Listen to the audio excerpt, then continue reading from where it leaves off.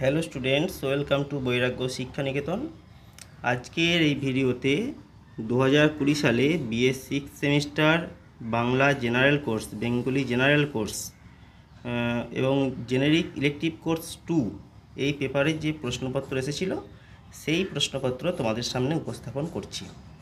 এই বাংলা জেনারেল কোর্সের generic elective two বা সেকেন্ড পেপারের পূর্ণমান ছিল ষাট নাম্বার এবং সময় তিন ঘণ্টা।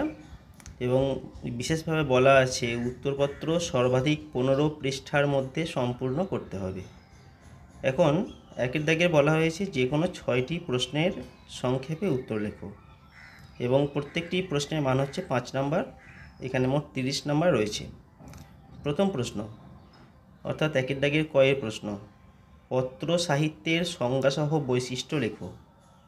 পরের প্রশ্ন, পত্র কখন সাহিত্য হয়ে ওঠে বুঝিয়ে দাও। গয়ের প্রশ্ন, পত্র সাহিত্যের আঙ্গিক সম্পর্কে ধারণা দাও। পরের প্রশ্ন, পত্র ও দিনপঞ্জির পার্থক্য লেখো। পরের প্রশ্ন, ভ্রমণ সাহিত্যের সংজ্ঞাসহ বৈশিষ্ট্য লেখো। পরের প্রশ্ন, ভ্রমণ সাহিত্যে সাল তারিখের উল্লেখ কতটা গুরুত্বপূর্ণ তার দৃষ্টান্ত দিয়ে বুঝিয়ে দাও। পরের প্রশ্ন, ভ্রমণ সাহিত্য এবং ডায়েরির মধ্যে সম্পর্ক লেখো। পরের প্রশ্ন, ব্যক্তিগত ভ্রমণ বৃত্তান্ত কখন সাহিত্য পদবাচ্য হয়ে ওঠে? উদাহরণসহ লেখো। এই হচ্ছে পাঁচ, ছয়, সাত, আট। মোট আটটি প্রশ্ন দেওয়া আছে। এর মধ্যে ছয়টি প্রশ্নের উত্তর করতে হবে এবং প্রত্যেকটি প্রশ্নের মান পাঁচ, অর্থাৎ তিরিশ নম্বরের উত্তর করতে হবে। দুই থেকে বলা হয়েছে, যে কোনো তিনটি প্রশ্নের সংক্ষেপে উত্তর দাও এবং প্রত্যেকটি প্রশ্নের মান হচ্ছে দশ নম্বর, অর্থাৎ তিরিশ নাম্বার রয়েছে।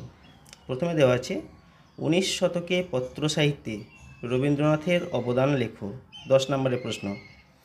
দ্বিতীয় প্রশ্ন, ভ্রমণ সাহিত্য রচনায় ভৌগোলিক পরিবেশ ও প্রকৃতি কতটা গুরুত্বপূর্ণ তা লেখো।